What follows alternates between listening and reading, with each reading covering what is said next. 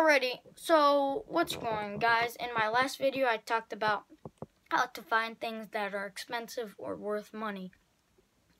Now, I'm gonna talk about maybe things that you want to sell. Game Boy games, if they're like 99 cents, it'd be a good thing to get. Maybe, you know, but average Game Boy games.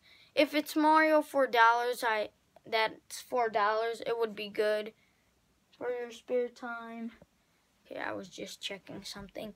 And that would be the best. Make sure to look all over the the store because there are hidden things. Like so a kid might have put something by the clothes or something. And that's the same thing for looking in the toy aisle. Look in the toy aisle, toy aisle there will be some vintage things there, like cards, for example. Make sure you look, uh, things they just got in, maybe in the back. I'm pretty sure they have a room.